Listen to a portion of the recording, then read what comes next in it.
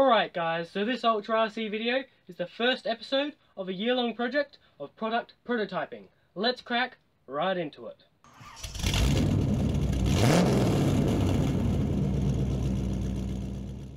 Alright guys, so the more interactive we can make this process, the better the outcome's going to be of the whole thing.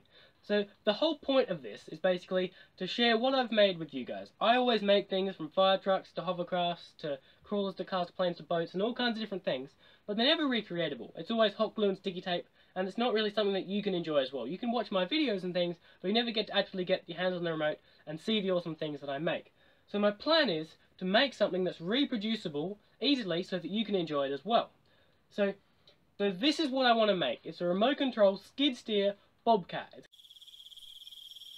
going to be totally awesome. It's going to be able to pick up sand, move around, and it's going to be super reliable, so it's always there when you need it. It's going to be super fun. It's going to be just an awesome bobcat. It's the awesomest bobcat that's out there, and it's only going to be the awesomest bobcat if you let me know how to make it the awesomest bobcat ever. So my plan is for this Ultra RC video to take you outside, show you what this thing is all about, show you how I put it together, my plans for the next version, and then we're going to test it out at the back. We're going to see how it can drive around, how grippy is it, does it have enough power, is it going to be big enough, does it need to, do we need to change anything, and just see how the performance of the base basis of this thing is, and then we're going to have another episode, and hopefully you're going to watch that as well, and you're going to see the improvements of how this thing's come along until it's going to be the awesomest product ever. So, let's take you outside and I'll show you what this thing's all about. Alright guys, so outside in all its glory, let me show you what's going on here. So basically we've got these four brushed 18 scale motors here, one for each wheel. They've got a little gearbox and go 90 degrees direct drive into the wheels. They've got a 12 millimeter hex so you can have any 10 scale wheel on there which is pretty awesome, super adaptable. I've been experimenting with different wheels. We've got two 3 cell 20 to 100 LiPo batteries there.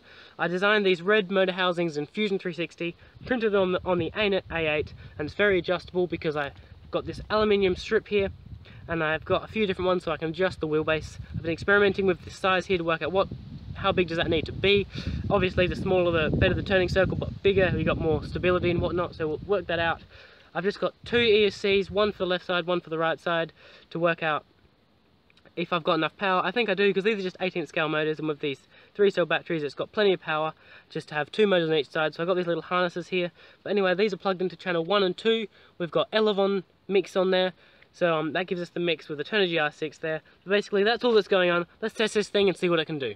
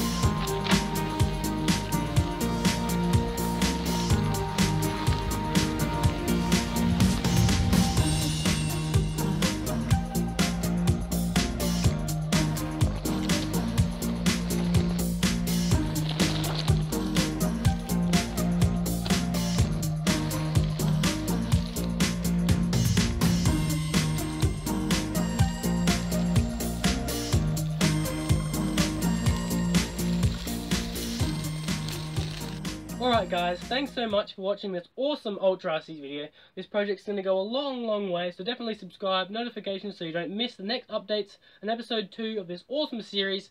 Otherwise, like the video, you made it to the very end, but most of all, comment down below. I'm very interested to hear what you reckon of this project. If you reckon I, if you reckon I should make something entirely different, let me know. But for now, thanks for watching and I'll see you around later.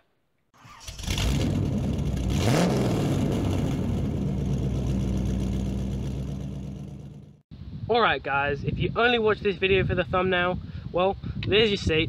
Thanks for watching. Isn't that awesome?